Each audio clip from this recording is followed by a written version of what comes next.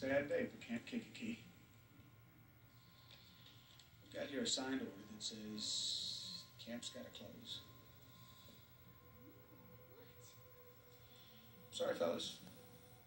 We're going to have to pack and leave. What's happened? This doesn't make any sense. The chief has signed away control of the land. The Krader Mining Company. Krader takes over the day after tomorrow. They're going to move in their heavy equipment and they are going to destroy everything around here. Looking for some mineral. Sorry, guys. Sorry this happened. Somebody had to fast talk the chief into signing.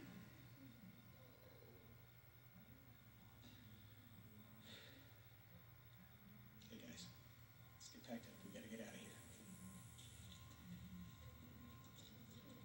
There are only two people here who can communicate with grandfather. It, it's all a great big misunderstanding. I'll fix it up. Know what I mean?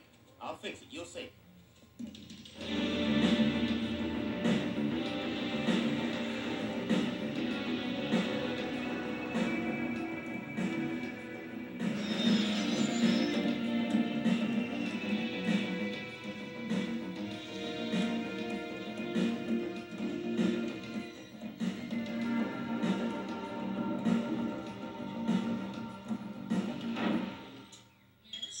Major problem.